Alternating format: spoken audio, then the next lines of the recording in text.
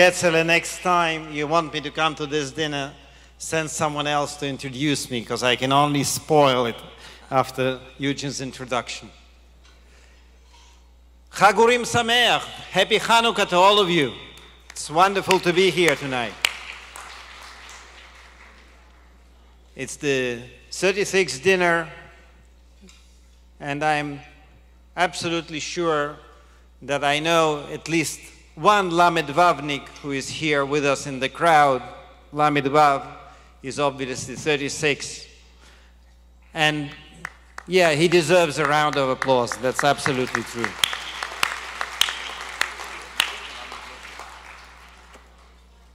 Dear honorees, distinguished members of Congress, dear friends, thank you for having me here tonight. It's so nice to celebrate the Pirsumei Nisa, to recount the miracles that God has done for the Jewish people. A small band of people dedicated to the truth, the land of Israel, and the people of Israel who defeated much larger forces arrayed against them. A small jug of oil that fueled the great menorah for eight full days, exceeding all expectations. But that was Bayamim Hahem, those days, those times. What about Bazman Hazeh? What about our days? I think that miracles around us these days are absolutely obvious. We just this year celebrated 70 years of the State of Israel.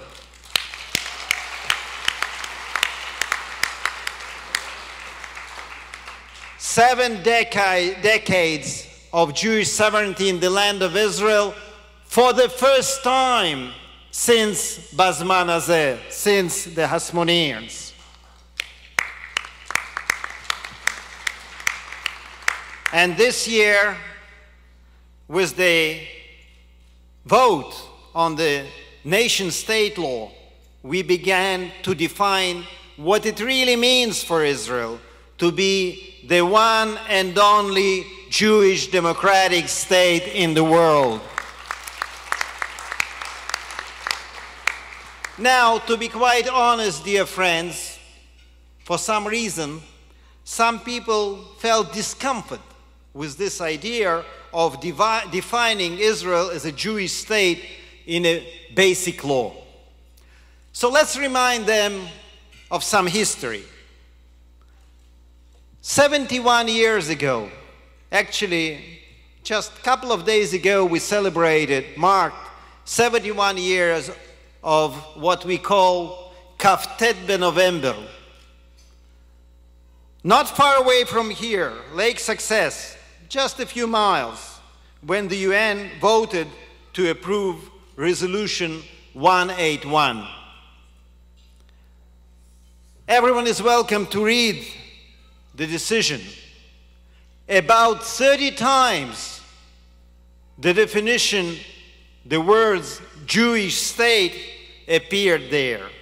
Israel was the Jewish state even before it was born.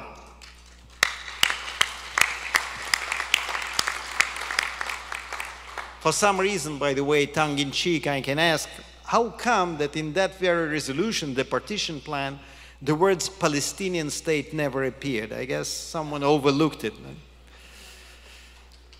I am proud of my party, the Likud party, which heads the coalition that does so much for the land of Israel. From, the, from this stage, I would like to extend my support for our Prime Minister, Benjamin Netanyahu, who, God willing, will serve as our next Prime Minister as well.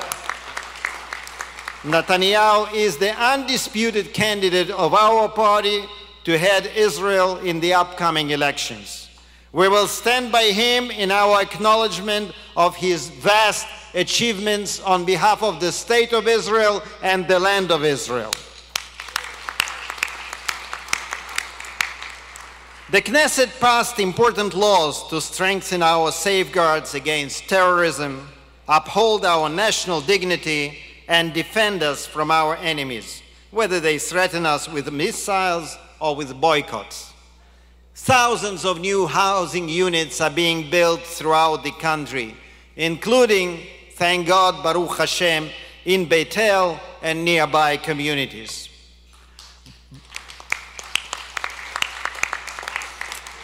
But there is still much more to do. Above all, we need to finally extend Israeli sovereignty, ribonut, to Judea and Samaria. to Ma'ale Adumim, a natural step that should have happened long ago. To Gush Etzion, where Jews lived before independence, and I have to admit, I myself lived for nearly 30 years. To Beit El, with its history of Jacob's vision and the centers of Torah study you know so well. And to the rest of Judea and Samaria, the Jewish and Israeli heartland. We owe this step to our brothers and sisters who live and work in these communities. It is our duty to support their pioneering spirit and love of the land of Israel, and we cannot continue treating them as second class citizens in many aspects. You, dear friends, play an important role in these efforts. You can raise this issue with Israeli elected officials when you're visiting. You can support different projects. And my message to you tonight is you are not alone in these efforts. I myself and many of my colleagues in the Knesset, many of the ministers in the Israeli government, think the exact same. Ribonut, independence, sovereignty will eventually come to Judea and Samaria, and many more houses will be built in order to reach the number we all dream about a million Jews in Judea and Samaria.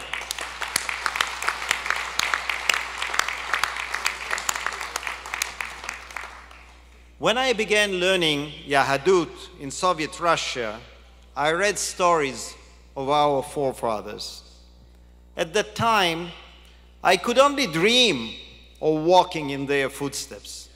But now, as an Israeli, I take these ancient paths myself on a regular basis.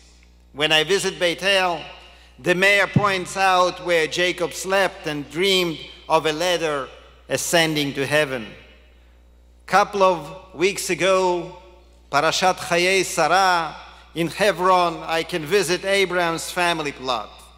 And in Jerusalem, our modern and internal and united capital, you begin to sense how the city felt to David and Solomon. Because no matter how much you read, there is nothing like feeling the ancient holy ground beneath your own two feet. There is no better way to connect to the Tanakh than to literally follow in the footsteps of our heritage. Today, the spirit of Zionism is a vibrant force for good in the world. Not only because Israel is naturally, well, you know it so well, the major center of Torah study in Jerusalem, Beit El, and countless other locations. But also because Israel is increasingly sought after for solutions to some of the world's greatest problems. In fact, just two weeks ago, nearly 50 parliamentarians from across Europe and Asia came to the Knesset to learn from us about sustainability, innovation, and parliamentary best practices.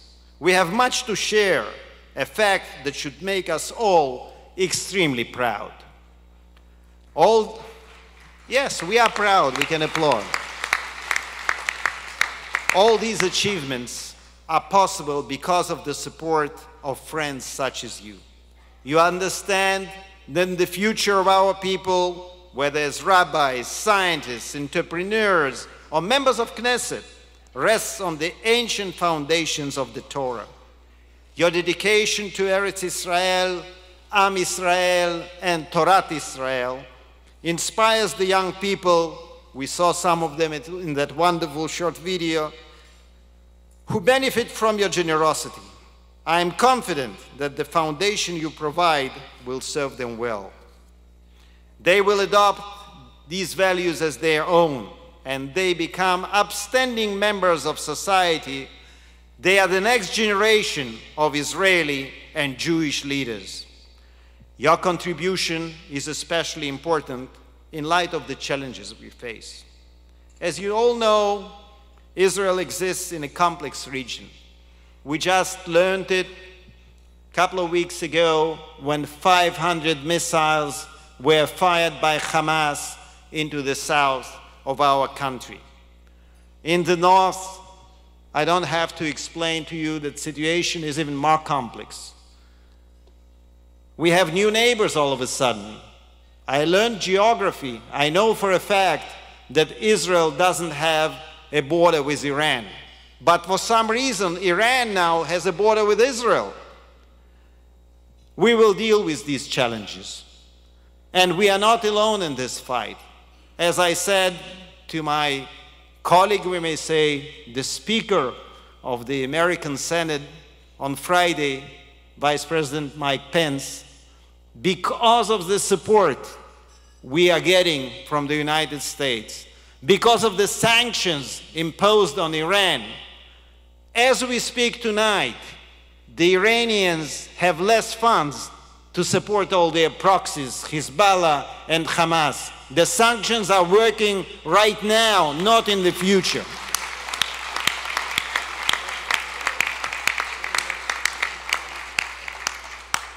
So all these self-proclaimed redeemers of the Middle East from the cancerous growth, as one of them defined us, should know we didn't win in all the wars to succumb before Hezbollah or Iran.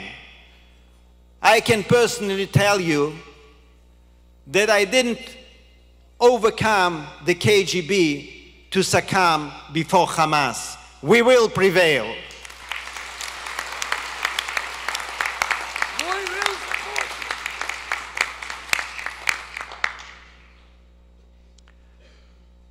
Miracles in our times. I can't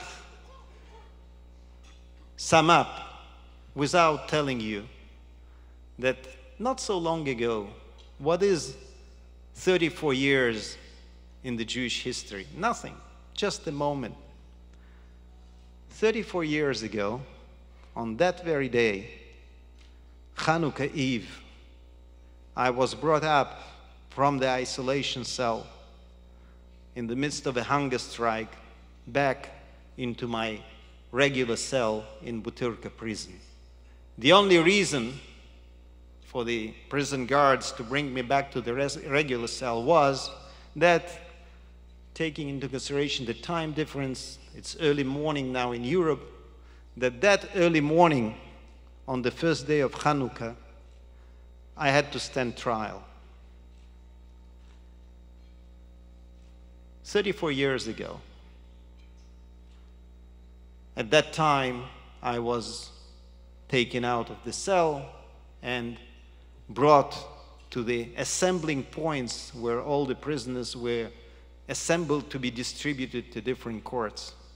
On that very day, the first day of Hanukkah, I stood a trial, a mock trial for several hours, and got my three years in prison. When the so called judge asked me whether I had anything to say to the court, I said that the only thing I can say is that I believe that my God and my people will help me get to Israel. Oh, they did help me. I got to Israel three years later.